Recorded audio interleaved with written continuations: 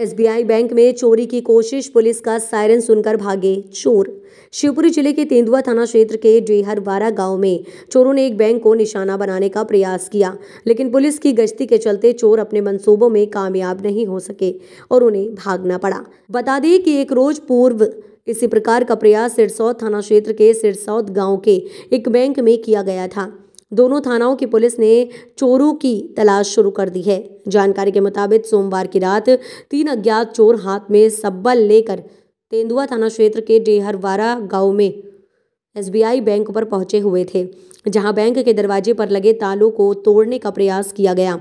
चोर दो बजकर चौवालीस मिनट पर बैंक पहुँचे और दो बजकर छप्पन मिनट पर चोर बैंक से एकाएक भाग खड़े हुए। ये घटना सीसीटीवी में कैद हुई है। बताया गया है कि चोरों ने बैंक के सीसीटीवी को भी नुकसान पहुँचाया है।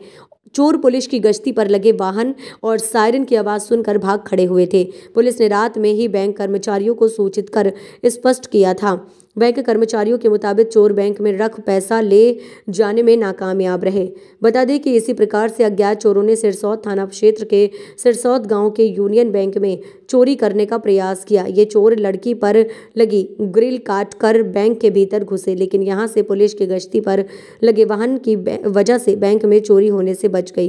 फ़िलहाल ये स्पष्ट नहीं हो सका कि दोनों चोरी की वारदात को अंजाम देने वाले बदमाश एक ही थे या अलग अलग दोनों थानाओं की पुलिस इस मामले में जुटी हुई है।